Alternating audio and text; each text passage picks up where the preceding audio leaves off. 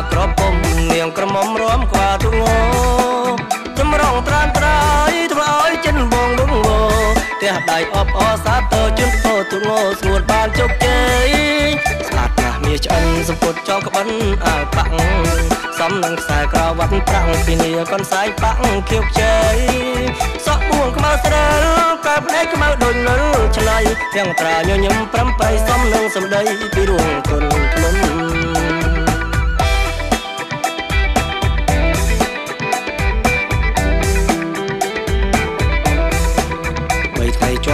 ពេលទូកពុំងារប្រឡង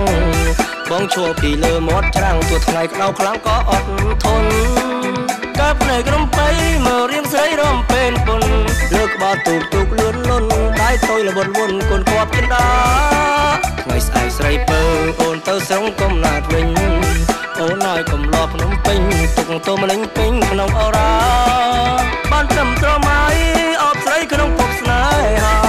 ក្រោយបើមានវាសនាបានជួបជីវ៉ាបងសារពីស្នេហ៍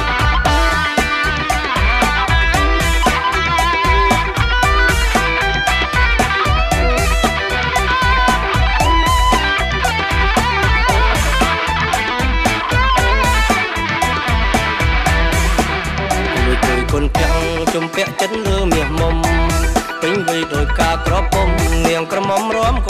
ាលទុងោចម្រ ទះដៃអបអសាទើជូនពោទុងោស្ងួតបានជោគជ័យ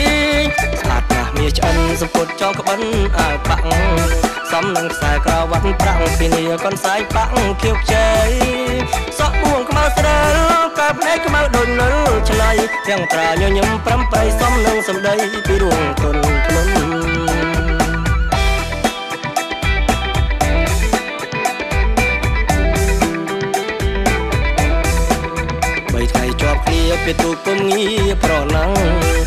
ឈរពីលើមាត់ច្រាំងទោះថ្ងៃក្តៅខ្លាំងក៏អត់ធន់